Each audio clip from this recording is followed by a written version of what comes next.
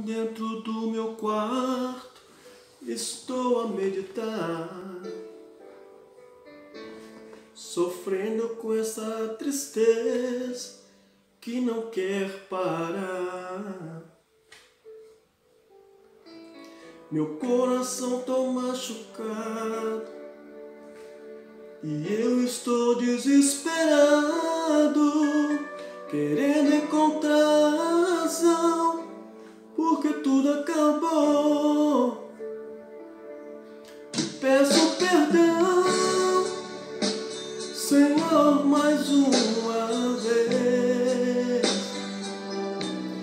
Eu sei que errei, mas vou recomeçar. Te peço perdão, preciso de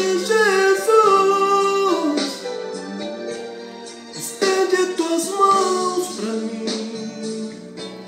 Eu quero ser mais feliz.